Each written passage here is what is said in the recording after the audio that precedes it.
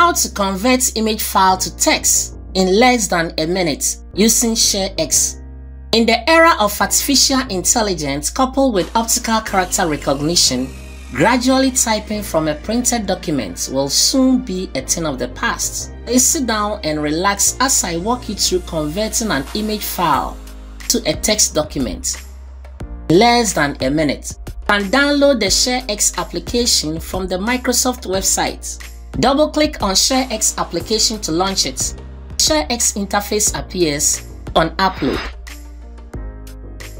Like, subscribe and hit the bell notification for more tutorials. And upload a file or folder or upload from a clipboard.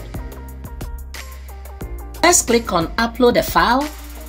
Navigate to the captured document.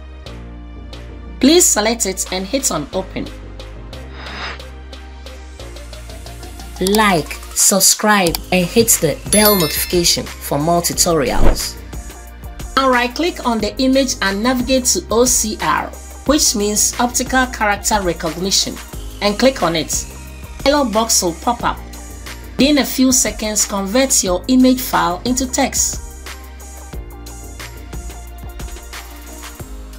You can now copy and paste the text file into any other program without qualms.